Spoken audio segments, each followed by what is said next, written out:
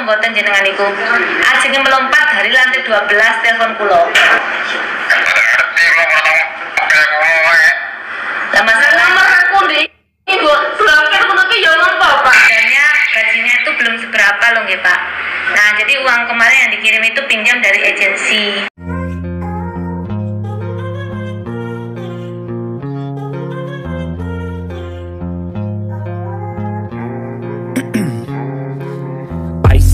Veins, I've been driving this train Years in this lane, there's no stopping this flame Cause I came to the game and I changed it to play How I like Rio Assalamualaikum warahmatullahi wabarakatuh. Bertemu lagi dengan Samila Formosa Jadi kali ini saya sedikit berbagi kisah atau berita atau cerita seputar TKI dan TKW di seluruh dunia.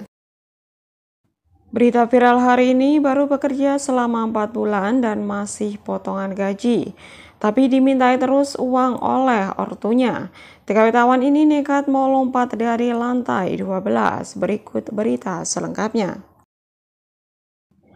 Diliput dari suara BM.com, seorang TKW Taiwan bernama Intan kemarin hampir saja melompat dari lantai 12 apartemen tempat ia bekerja. Lantaran ia frustasi dengan permintaan orang tuanya yang semakin menjadi. Selalu meminta kiriman uang kepadanya padahal dia masih potongan gaji. Diketahui TKW tersebut baru 4 bulan bekerja di Taiwan, namun sudah dimintai banyak uang hingga pinjam ke agensinya demi orang tuanya. Namun tak cukup jumlah uang hingga aksi saling blokir anak dan orang tuanya pun terjadi. Dalam siaran langsung TikTok Mbok Cikrak, TKW tersebut menangis dan menceritakan semuanya. Beruntung ia bertemu Mbok Cikrak sehingga aksinya tidak terjadi. TKW tersebut mengaku kirim uang untuk berobat ibunya untuk HP anaknya dan bahkan HP dipakai oleh adiknya hingga anaknya pun menangis. Tak hanya itu karena tidak ada uang lagi untuk dikirim, TKW tersebut bahkan diblokir oleh ayah kandungnya sendiri yang merasa mempunyai jasa kepada anaknya dan mewajibkan anaknya untuk kirim uang kepadanya.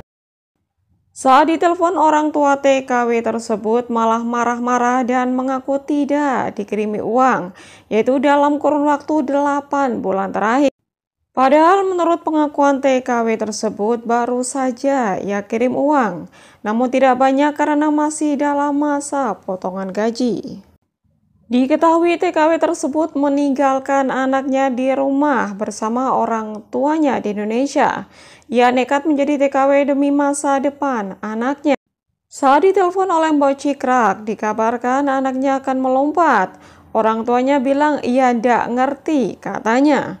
Saat Intan bertanya kenapa nomorku diblokir pak, orang tuanya pun menjawab, karena kamu juga memblokir, aku juga memblokir kamu. Yang ngajarin aku blokir kamu, ya kamu, katanya. Nah, jadi uh, kasihan sekali ya guys kita mendengarkan sahabat seperjuangan kita uh, yang diperlakukan oleh orang tuanya sendiri sampai sedemikian rupa. Jadi ceritanya Mbak Intan, Mbak Intan ini adalah seorang TKW Taiwan yang beliau ini baru bekerja selama 4 bulan di Taiwan guys. Sedangkan kita tahu ya bekerja di Taiwan itu kita masih ada potongan selama 9 bulan. Nah, dalam waktu empat bulan itu, sebetulnya Mbak Intan juga sudah sering sekali kirim. Tapi kembali lagi karena masih dalam potongan yang pasti Mbak Intan tidak bisa mengirim uang banyak ya guys. Bahkan dia sendiri pun kan di sini butuh biaya. Ya kadang untuk beli pulsa atau untuk membeli keperluan dia sendiri begitu guys. Nah, sedangkan orang tuanya itu tidak mau tahu tentang hal itu. Dia selalu uh, telepon dan meminta uang kiriman untuk biaya ini, untuk biaya itu. Pokoknya semua yang dibutuhkan di rumah itu selalu minta uang sama Mbak Intan. Bahkan karena Mbak Intan ini tidak cukup untuk mengirim uang ke rumah, dia pun sampai memberanikan diri untuk pinjam ke agensi guys. Dan alhamdulillah memang diperbolehkan dan dipinjami sama pihak agensi. Namun walaupun demikian pun bapaknya tetap tidak terima dan tidak puas Tetap saja dia selalu meminta, meminta, dan meminta terus.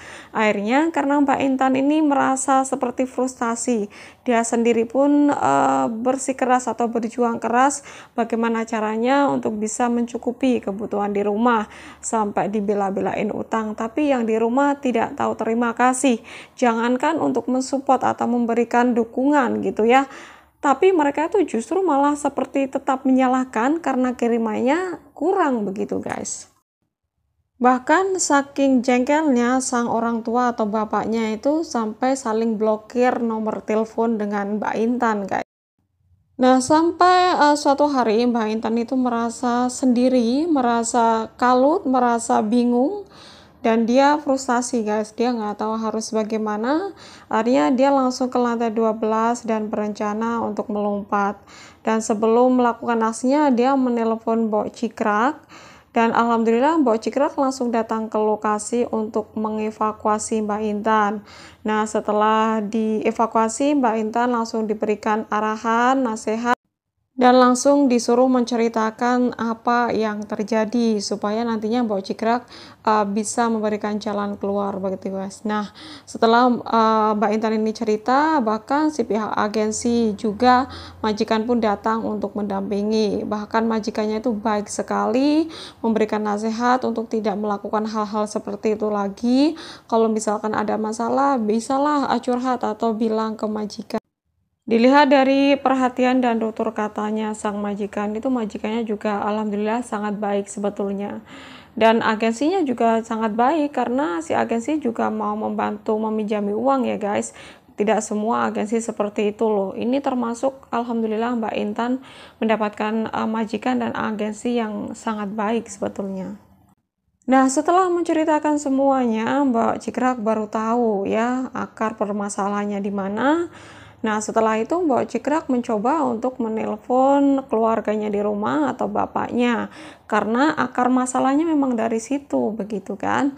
Nah, setelah ditelepon itu ternyata justru bapaknya malah uh, jawabannya sangat menjengkelkan ya kalau menurut saya saya mendengarnya aja sampai greget gitu mereka itu tidak memiliki rasa empati sedikit pun ya setelah mendengarkan anaknya akan melakukan aksi seperti itu. Bahkan seperti ya tidak mau tahu gitu.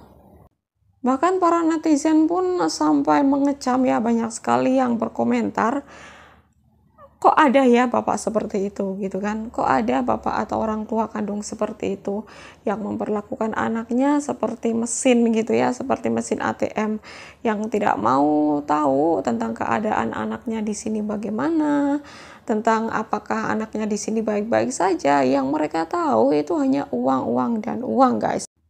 Nah, sebetulnya saat ini yang dibutuhkan Mbak Intan adalah tempat uh, curhat ya atau sahabat yang bisa mendengarkan keluh kesah dia, yang bisa memberikan nasihat atau dukungan secara moral gitu ya, agar dia tuh merasa ada teman, ada teman untuk berbagi cerita. Karena kasihan sekali saya melihatnya atau mendengarkan dari kata-kata dia itu dia seperti tidak punya siapa-siapa. Jadi semua beban itu dilimpahkan ke dia sedangkan dia tuh tidak ada tempat untuk mengadu lah begitu guys. Ya kita doakan saja buat Mbak Intan Semoga saja diberikan ketabahan ya guys. Semoga saja nanti orang tuanya atau keluarga di rumah bisa mengerti lah atau paling tidak jangan selalu uh, menuntut gitu ya untuk uh, selalu kirim uang kepada Mbak Intan.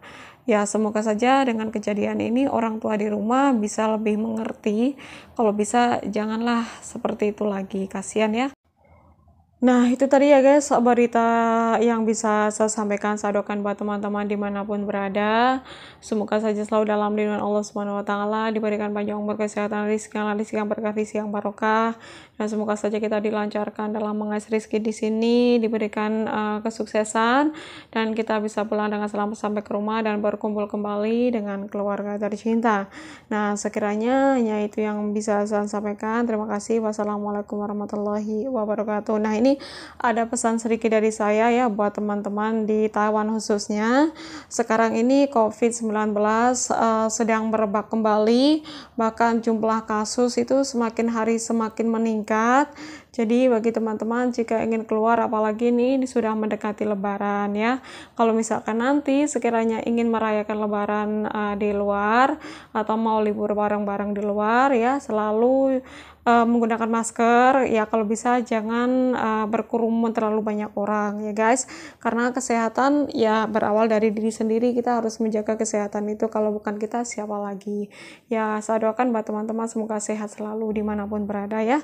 Sekiranya ya itu terima kasih. Wassalamualaikum warahmatullahi wabarakatuh. Bye bye